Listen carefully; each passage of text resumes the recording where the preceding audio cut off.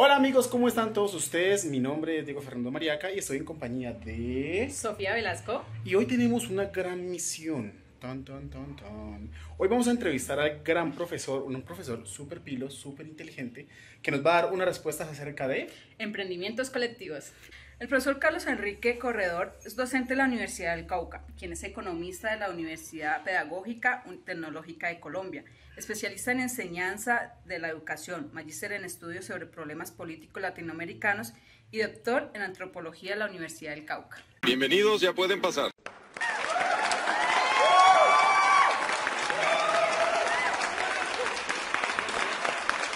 Bueno, eh, ¿qué podríamos decir? Yo soy boyacense, llevo casi 22 años viviendo en el Cauca y eh, pues ha sido una de las cosas más interesantes y, maravillosas que ha sucedido poder conocer el Cauca y toda su potencialidad y capacidad creativa de, invención, de, de contradicción, de conflicto, que ha sido también un aprendizaje muy interesante para, para nuestra vida como académicos y para nuestra vida personal también. ¿Qué son emprendimientos colectivos? Bueno, podríamos decir que emprendimientos colectivos son procesos de gestión eh, colectiva eh, que emprenden personas eh, que de alguna manera entienden que la solución no está solamente en pensar desde el individuo, sino en pensar problemas comunes y a partir de pensar esos problemas comunes también entienden que la solución pasa por colaborar, cogestionar, coayudar, eh, en general juntarse para poder resolver eh, a las circunstancias que tienen enfrente y que muchas veces son muy complicadas en términos de su existencia y de su futuro y el bienestar. De ahora en adelante tendremos que cooperar y coexistir. ¿Por qué son importantes los emprendimientos colectivos en nuestra sociedad? Bueno, eh, digamos que han aparecido varias facetas que son necesarias también discutirlas y ponerlas en tensión. Lo primero es que eh, históricamente hay experiencias asociativas y colectivas de mucha eh, tradición y de, vieja data que tradicionalmente han sido desconocidas o sistemáticamente ignoradas en, los procesos de gestión y en los ejemplos inclusive que, que, siempre se hace sobre lo que es un emprendimiento. Entonces casi siempre se exalta al individuo, se exalta al, al sujeto que hizo, que transformó y muy pocas veces damos a conocer experiencias eh, que han sido gestadas de manera amplia y participativa por la gente. Entonces uno puede decir que hay, por ejemplo, procesos cooperativos, procesos solidarios y procesos de gestión de la comunidad que eh, requerirían ser puestos más eh, en, valor, digamos, a la hora de pensar las experiencias de cómo se pueden solucionar problemas. Y en ese sentido, valdría la pena solo mencionar, por ejemplo, todo lo que ha hecho la economía solidaria y lo que ha hecho el cooperativismo en muchos espacios para solucionar problemas colectivos y problemas comunes que debieran ser ejemplo para eh, las nuevas generaciones. Y eh, creo que esa es, esa es un primer, una primera gran ausencia, que, que, cuando estamos mirando los procesos de gestión, pensamos en sujetos, en individuos o en las grandes figuras que son los inventores, o son los gestores o los innovadores, pero muy pocas veces pensamos en que también ha habido experiencias colectivas que vale la pena mencionar. Yo quisiera mencionar solamente unas rápidamente para que las tengamos presentes. Creo que vale la pena mencionar, por ejemplo, eh, Secos de Sola en Venezuela, lleva más de 60 años haciendo un proceso solidario, es el proceso solidario más importante de América Latina.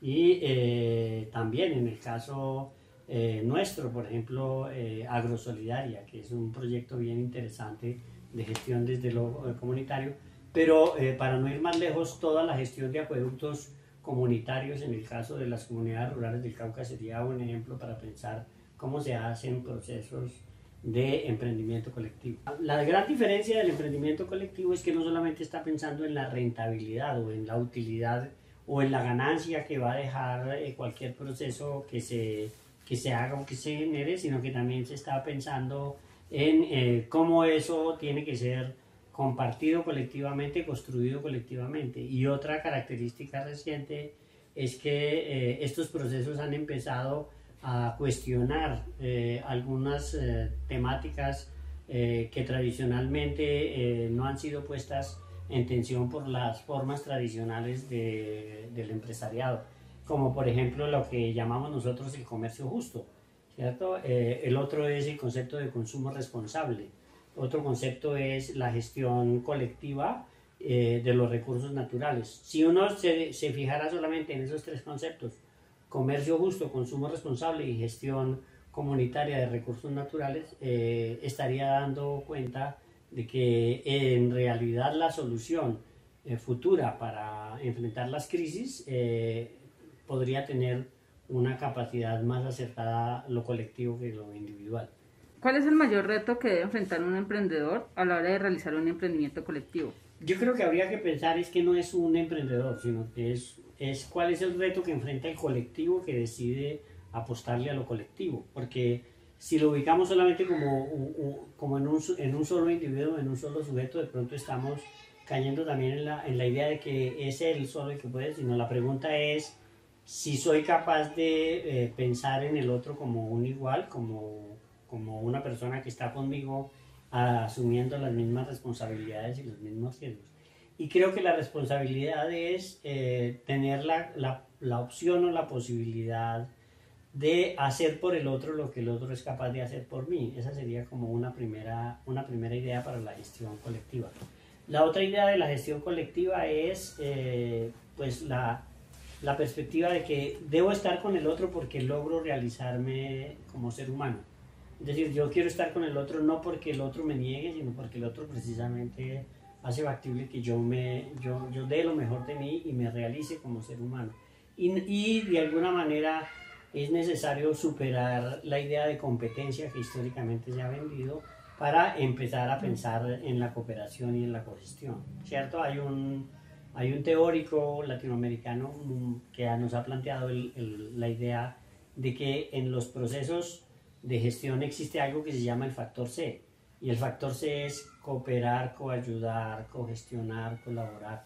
Todas estas palabras que empiezan por C y que implican que solamente puedo eh, entenderme como sujeto cuando, me, cuando hago con el otro cosas, cuando colaboro, cuando coopero.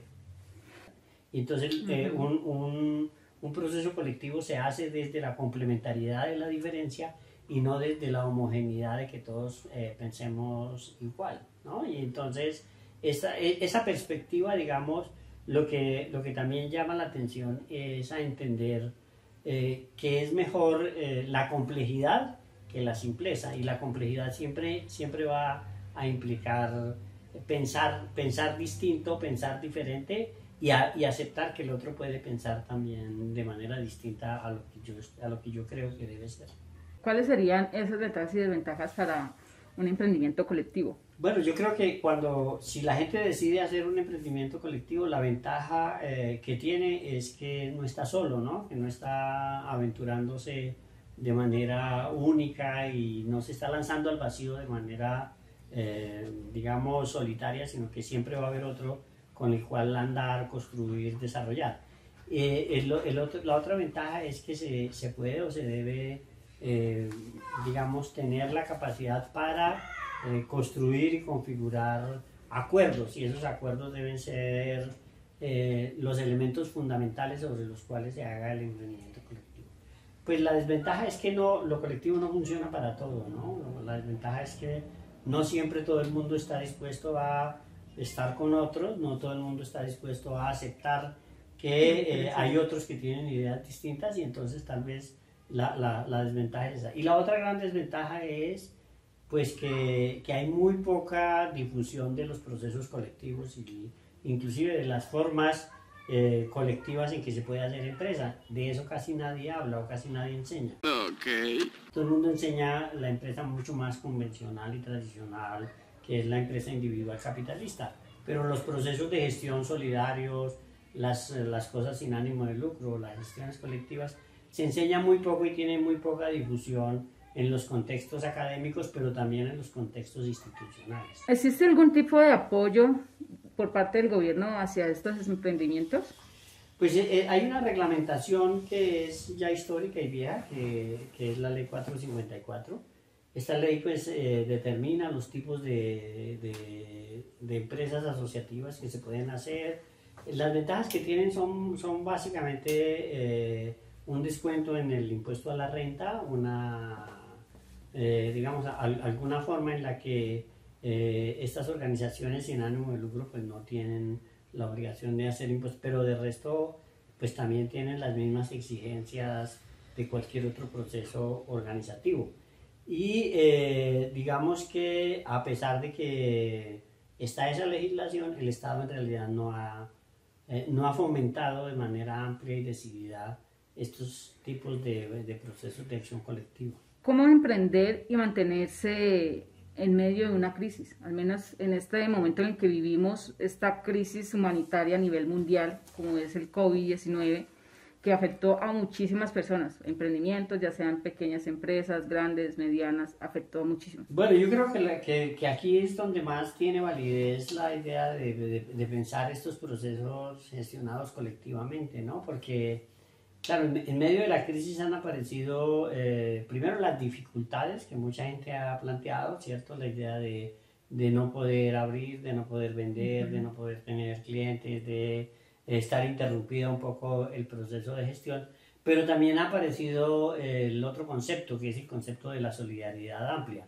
Y entonces nos hemos dado cuenta, por ejemplo, de el rescate y el fomento de cosas como las huertas urbanas, que han empezado a aparecer, y huertas emprendidas colectivamente, que inclusive aquí en, aquí en Popayán han surgido de una manera dinámica para poder responder a estas eh, perspectivas. Y la otra, el, otro aspecto eh, que me parece fundamental es que eh, nos hemos dado cuenta también con este proceso que lo, que lo que necesitamos y lo fundamental en la vida son pocas cosas y que esas pocas cosas nos ayudan también a afrontarlas de manera eh, distinta.